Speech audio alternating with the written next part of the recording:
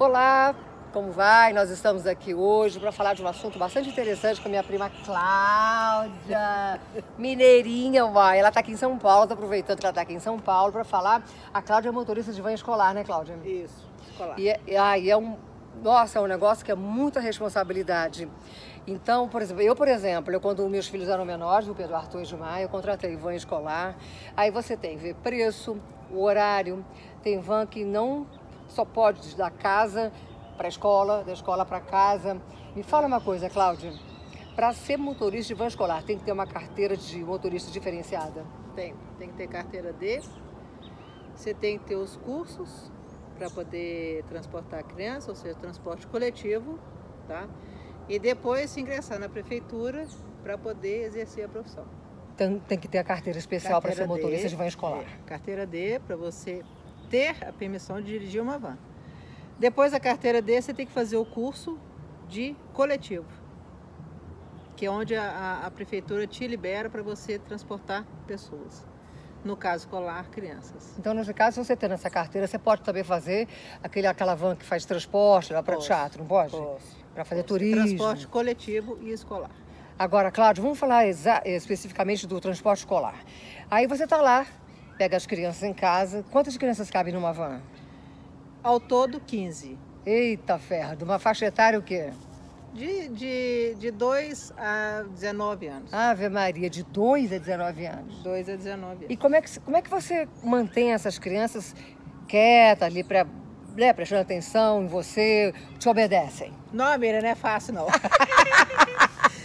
você trazer a, a, a atenção das crianças para você você tem que ter muito jogo de cintura, porque a criançada, quando elas entram dentro da van, elas começam a brincar e começam a conversar e faz aquela bagunça. Então, para diminuir, para não tirar a minha atenção no trânsito, eu trago elas para mim. Isso. Eu trazo, eu, eu venho trazendo um assunto que chame a atenção delas e que eu possa dirigir e elas estão sob o meu comando lá atrás. Nossa senhora. Você bota música, tem DVD, alguma coisa? O que, você faz? Minha van tem DVD, tem TV, não, mas eu vou na conversa. Eu, tra eu trago todo mundo na conversa. Tem que ter uma boa conversa, hein? Tem, uma tem boa um conversa. muito bom.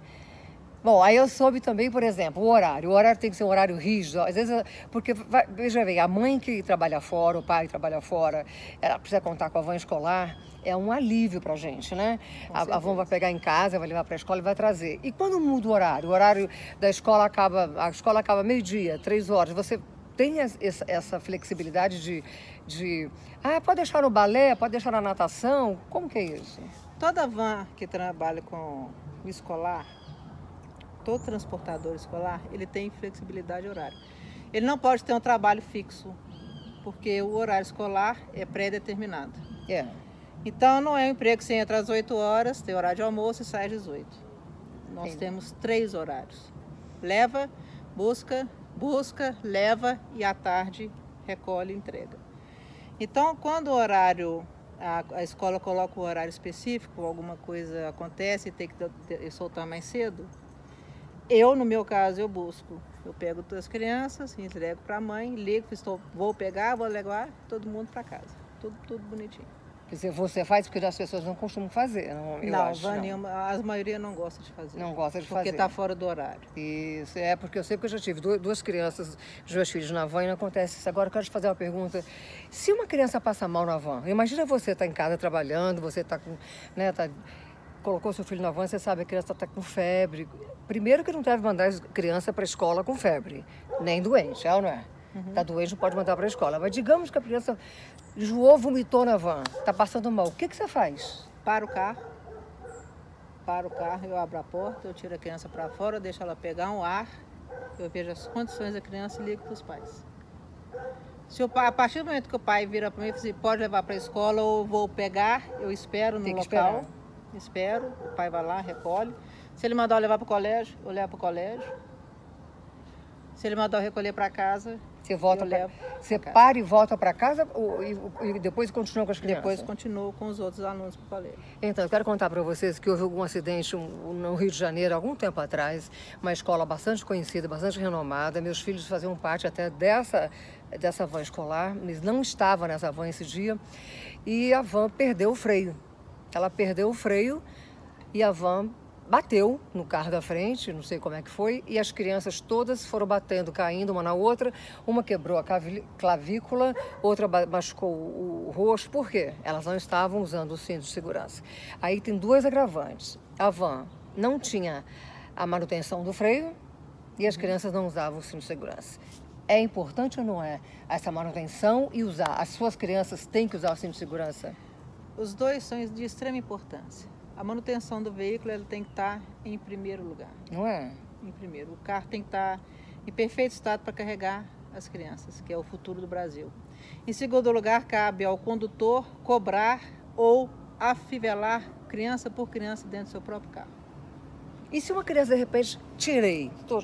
Ah, não quero, eu vou tirar. Você tem que parar e colocar? Não quero. O condutor ele tem que escutar, porque o, o cinto, quando você solta, ele clica e você tem que escutar. Nossa, Você escuta quem soltou o cinto, quem soltou e um dedo do outro. Ah, foi fulano. Põe o cinto agora. Separa o carro, abre a porta e manda ele colocar. E bota botar de novo. Eu, no meu caso, ponho atrás de mim. Se você pôr o cinto, vai ficar uma semana de castigo andando atrás de mim. Senão não anda. Mas a Cláudia, além dessa responsabilidade toda, ela tem um diferencial. Me conta da pipoca. Ela, ela, ela presenteia as crianças com pipoca, de tão bonitinho. Você para pra comprar pipoca, prima. Claro, sim. A cada conta. 15 dias eu compro pipoca com bacon com meus alunos. Todo dia, to, toda 15 dias de tarde, é na sexta-feira, eu paro no colégio, compro pipoca. Vocês querem pipoca? Quero, quero. Compro pipoca todo Imagina. Vai, pipoca vai pra van. Muito legal, isso é muito legal. E outro dia também, as crianças souberam que a prima aqui é a Ruth Goulart da escola. Foi. Da escola Ruth Goulart, das aventuras de Poliana, né, Cláudia? Não te deram Foi. sossego, né? Não, não me deram sossego. Aí eu tive não. que gravar um vídeo, mandar um, um livro. Livro. Autógrafo, vídeo. E agora a gente estamos gravando com ela para vocês verem, viu, crianças?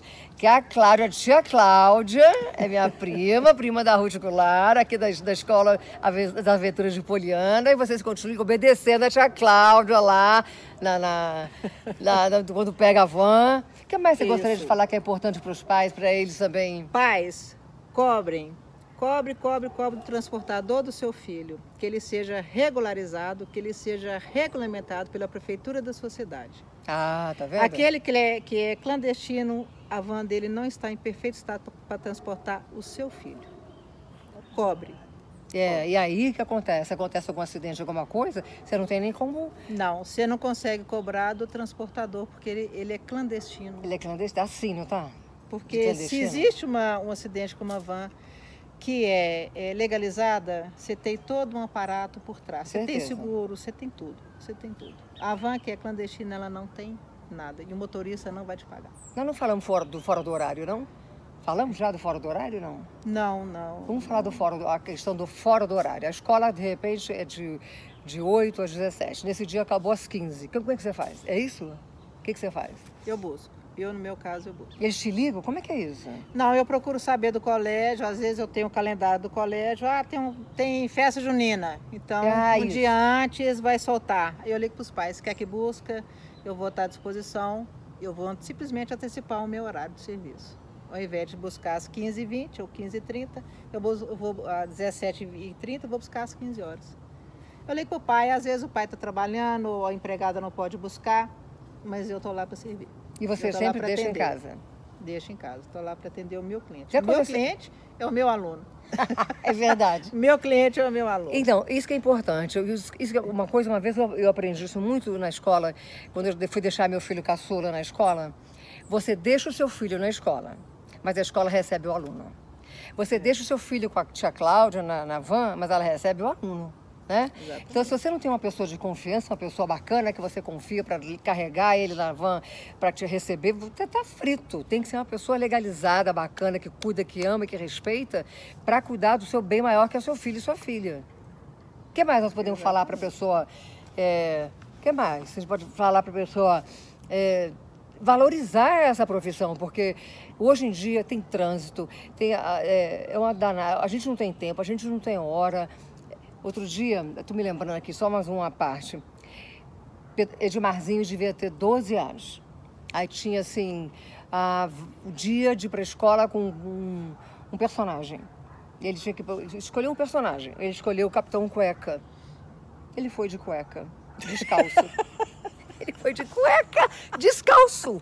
Numa escola inglesa, escola inglesa, não é brasileira, escola inglesa. Um frio de manhã no Rio de Janeiro, ele foi descalço, de cueca branca e um pano vermelho amarrado, que o capitão cueca é, é, tem a capa vermelha. Eu falei, você vai assim na escola inglesa? Eu vou.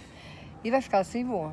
Aí botou o um uniforme dentro da escola, eu falei, meu Deus do céu. Tem essas coisas lá também? Lá no... Aí nós estamos falando de Belo Horizonte, tem. Minas Gerais, onde eu nasci, nossa terra natal. Lá também tem essas coisas de, tem, de, tem. dia da, da, do menino, dia tem. do não sei o quê. Vai, vai criança vestida de anjo, aí vai com aquela asa desse tamanho, eu pego a asa, põe pra asa não quebrar, e o aluno, o aluno tá assim, tia Cláudia, você vai carregar minha asa? Vou. Vai chegar inteira? Vai, vai chegar inteira. Tia Cláudia pega a asa, põe, leva em sala de aula, beleza? Professora, tia, tia, tia alguma coisa tá lá, tá tudo bonitinho. O motorista, a motorista da van tem que levar até dentro da, da, da sala, não, né? Dependendo até... da idade da criança, le, levamos até dentro de sala.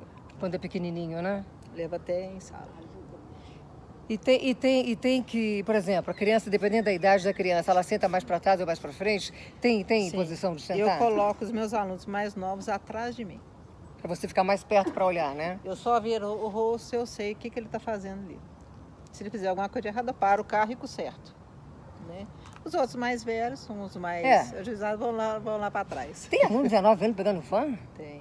Ah, pelo amor de Deus, cara, vai de ônibus, vai pra... Não, pega uma van, pega a van, Caixa Cláudia. Pega a van, 19 Tem mesmo? Tem, tem. Caraca, tem, que tem, bom, pega a van, tá vendo, com a tia Cláudia, é isso mesmo. Bom, a gente quer encerrar esse bate-papo dizendo o que você quer mandar uma, uma mensagem para os seus alunos, uma mensagem para as mães e para os pais que estão te acompanhando esses anos todos, são, são tantos anos né, que eles estão te é, valorizando, acreditando em você, depositando toda a confiança no seu trabalho, né? É, não, carregar o filho das pessoas é uma responsabilidade muito grande. Muito grande, né? Muito grande. Nossa, nem não fala. É, não, é, não é, você não está carregando uma, um, algo, você está carregando a, a coisa mais importante de alguém. Verdade. Entendeu? Então a confiança é a base de tudo a base de tudo. E o tratamento, aquela amizade que a gente tem com as crianças, aquela coisa, cria uma, uma, uma, uma energia tão boa. Você não vê o tempo passar, eu parava, já acabou meu horário. Muito legal.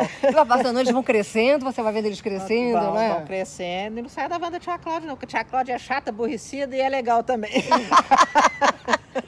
tia Cláudia cobra, é cinto, né? Mas tem que Se não ser. tem cinto, não é. Não, a tia Cláudia não arranca avanço se não tiver um aluno com cinto afivelado. Porque tem que ser, criança e gosta. De, a criança tem que ter a rotina, tem que ter a, a como é que chama? Quando tem que ter a autoridade, disciplina, a criança tem que ter disciplina. Hora de brincar, hora de brincar. Hora de afivelar o cinto e ser coisa séria. É coisa séria. Eu, eu vou levar o aluno para a escola, eu não vou levar o aluno para o hospital. Lógico. Eu vou levar ele para a escola e da escola para casa. Lógico. A minha responsabilidade é aí. O restante é a convivência, é, é aquela energia positiva, é tudo de bom. A energia bom. da criança é tudo de bom. É muito bom mesmo, é muito bom. Gente, eu conversei com a minha prima, a Cláudia Regina. Pinto da Cunha? Não, esposo. Ah, desculpa. é tanta prima.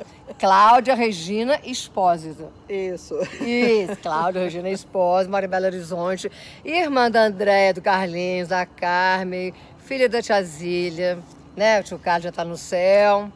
É uma família Seus que padrinhos. Eu... Meu padrinho, Seus meu padrinho. padrinhos. Tia Zília é minha madrinha, que eu amo, onde eu nasci lá em Belo Horizonte, toda essa família que eu. Mineira, você também é mineira. Mineiro, uai. Tá pensando boa, o quê? Né? Mineira, uai. Ela me trouxe um doce maravilhoso de Belo Horizonte. Mandar um beijo pra Carmen, pra Andréia, Carlinhos pra Paola. Vamos embora. Vai falando dos dois Paola, Gabriel, Gabriel, Daniela.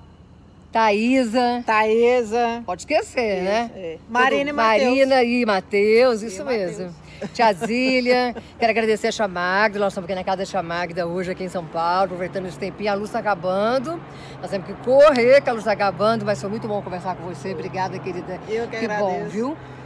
Segunda-feira, todo mundo memorado. Falou, galera. Tia Cláudia tá lá, segunda-feira, para carregar todo mundo. Ah lá, é isso aí, é isso aí. É isso aí. Beijo. Beijo. Deus abençoe. Obrigada. Beijo. Tchau, gente.